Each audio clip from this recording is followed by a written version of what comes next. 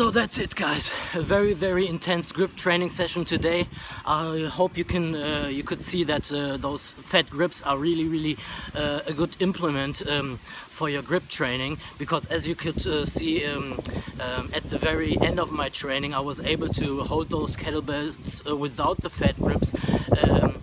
way way longer than with them which is of course um, uh, what they are there for in the first place um, and yeah, I hope uh, you kind of get an idea how grip training is and uh, why it's so important or why it's so fun because uh, everything you do here